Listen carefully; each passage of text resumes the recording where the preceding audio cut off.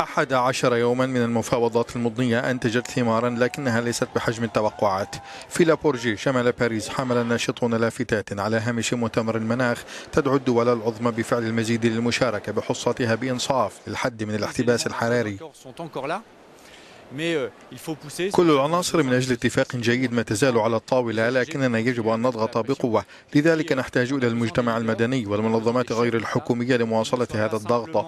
كما أننا نحتاج إلى قادة ورؤساء دول ليس فقط لمراقبة مؤتمر المناخ من بعيد بعد زيارتهم ليوم واحد.